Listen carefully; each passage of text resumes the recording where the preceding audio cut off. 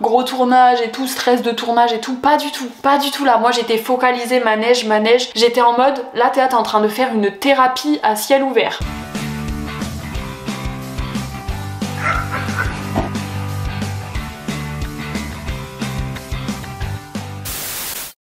Salut les gars, bienvenue dans ma chambre. J'avais promis à plusieurs d'entre vous de faire un jour cette vidéo et je m'étais promis aussi à moi-même. Le jour est arrivé. On se retrouve dans ma chambre. Je suis prête à parler et à vous raconter une euh, partie de ma vie dont j'ai très peu parlé, enfin juste en surface. Tout le monde sait globalement que j'ai la phobie du vomi. Le peu de fois où j'en ai parlé, j'ai reçu énormément de DM, que ce soit par rapport à cette phobie, par rapport à une autre phobie, à l'anxiété d'une manière générale. Déjà, peut-être on peut commencer par euh, le terme phobie parce qu'il est beaucoup utilisé en mode second degré, en mode ah ça c'est ma phobie et tout, alors que ça signifie quelque chose qui, quand tu te retrouves confronté à ça, est bien au-delà de juste de la peur ou juste du dégoût. Toute ta vie est euh, millimétrée par rapport à ça. C'est-à-dire que dans n'importe quelle situation, tu vas penser au fait que potentiellement, il peut arriver ça qui va te mettre face à ta phobie peut prendre forme de plein de manières différentes, mais ça peut causer des troubles obsessionnels du comportement dans ta vie générale, causer euh, des crises d'angoisse, des crises de panique qui peuvent t'amener jusqu'à l'hôpital si jamais euh, tu sais pas gérer des crises d'angoisse ou des crises de panique, t'arrives plus à respirer, c'est des crises de tétanie, c'est tout ce genre de choses là qui est déclenché non pas parce que tu t'es retrouvé face à, mais parce que potentiellement t'allais te retrouver face à. En fait c'est des trucs qui sont complètement irrationnels et de l'extérieur si t'as pas de phobie c'est très difficile à comprendre, mais dans la tête de la personne tu penses vraiment que tu peux mourir si tu te retrouves euh, dans cette situation-là? Après, attention, il y a des peurs qui peuvent être très importantes, c'est pas forcément au stade de phobie, parce que les phobies sont liées à de l'anxiété. Pour ceux qui me suivent un peu, vous savez, moi ma phobie c'est euh, l'hémétophobie, donc c'est la phobie du vomi. J'ai euh, la phobie de moi être malade, dans un premier temps bien sûr, mais également de voir chez les autres, à la télé, d'entendre des bruits qui font référence au vomi, les bébés qui régurgitent, tout ce qui sort de la bouche, les rots, ça peut être difficile, tout ce qui sort de la bouche, vraiment au sens large du terme. Ça commence à faire euh, très longtemps que je suis confrontée à ça, ça a commencé euh, fin collège, début lycée, donc vers mes 15 ans. C'est très long. Je serais incapable de dire euh, d'où ça sort et pourquoi celle-là. En tout cas, mon cerveau a fixé sur ça et depuis c'est resté. Et évidemment, ça a évolué puisque les phobies ne restent pas statiques, l'anxiété ne reste pas statique, il y a des phases où ça va mieux, il y a des phases où ça va moins bien. Ça a commencé par une peur uniquement du vomi, donc au stade où là maintenant je peux dire vomi, je vais vous expliquer, j'ai beaucoup progressé etc. Mais même prononcer le mot vomi c'était pas possible, donc euh, pour moi ça, je disais paillette. Voilà, c'était un stratagème pour euh, essayer de rendre ça plus, euh, moins dramatique. Je sais pas, des, des petites techniques mentales et tout. Puis est arrivée en 2017, une euh, très très sale période. J'ai fait une grosse dépression. Forcément, euh, ça a joué sur mes phobies parce que ma phobie c'est lié à un trouble anxieux, donc euh, ce trouble anxieux en période dépressive, forcément, ben ça l'a intensifié et ça l'a intensifié sur la nourriture. La nourriture, forcément, c'est un truc vital t'as besoin de manger pour survivre. Donc, c'est pas quelque chose que tu peux éviter. Bah, j'ai commencé à avoir peur de la nourriture et du coup, j'ai développé des TCA, donc des troubles du comportement alimentaire, qui euh, peuvent prendre euh, énormément de formes. Dès que j'avais des énormes pics de stress ou notamment pendant cette période bah, de dépression et tout, ben je, je pouvais pas manger. En gros, à chaque fois que je mangeais, j'avais l'impression que j'allais être malade et après c'est un cercle vicieux parce que du coup, bah j'osais plus manger parce que je veux jamais me mettre dans une situation ou potentiellement je vais être malade.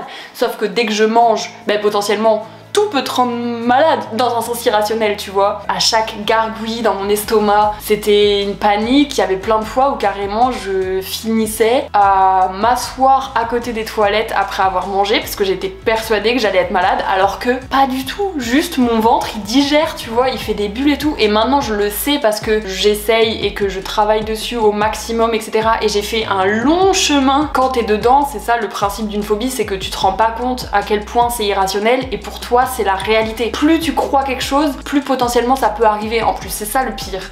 Prendre un peu de café, hein.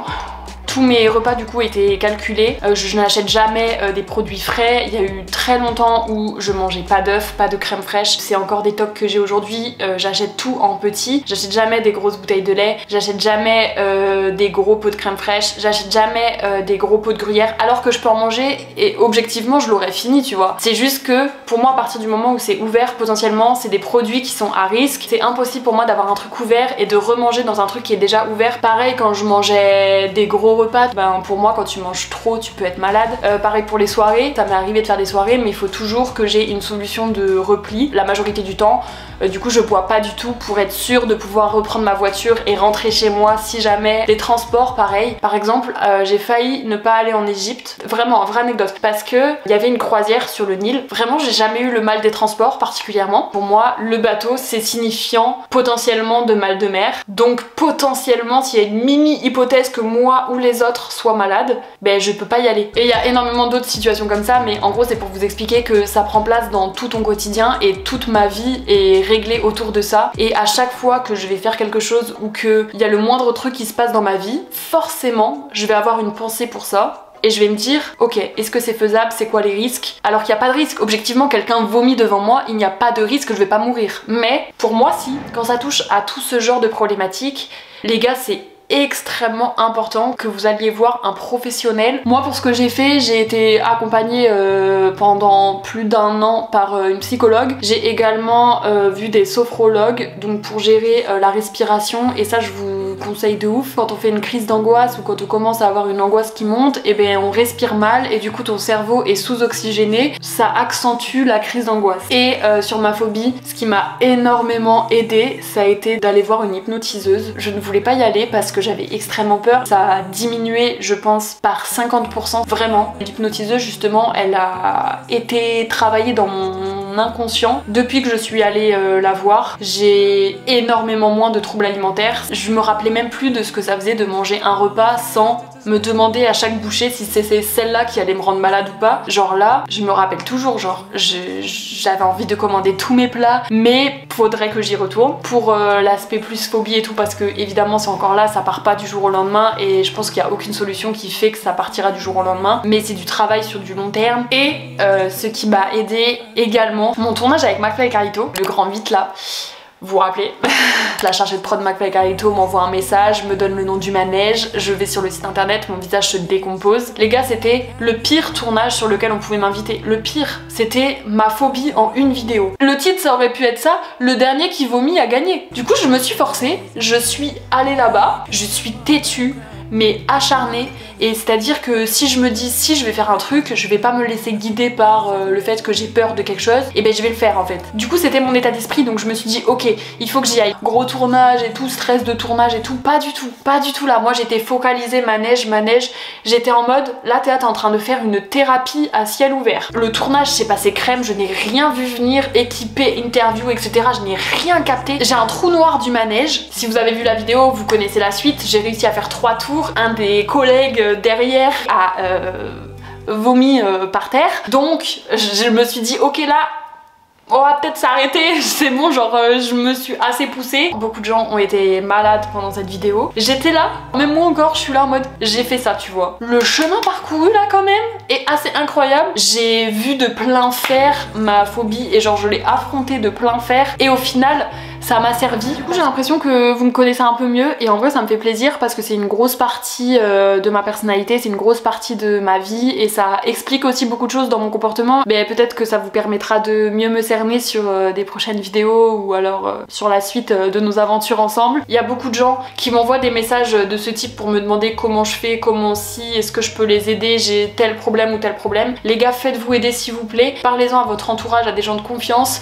qui vont pouvoir vous amener vers des professionnels ou des solutions qui vont vous correspondre à vous. Essayez d'écouter si quelqu'un vous exprime quelque chose de ce type là, sans faire exprès, sans vous en rendre compte, vous pouvez accentuer euh, les traumatismes ou les phobies euh, de quelqu'un. J'espère que vous ça va, prenez soin de vous surtout. On se retrouve très bientôt dans une prochaine vidéo. Merci d'avoir regardé jusque là. La bise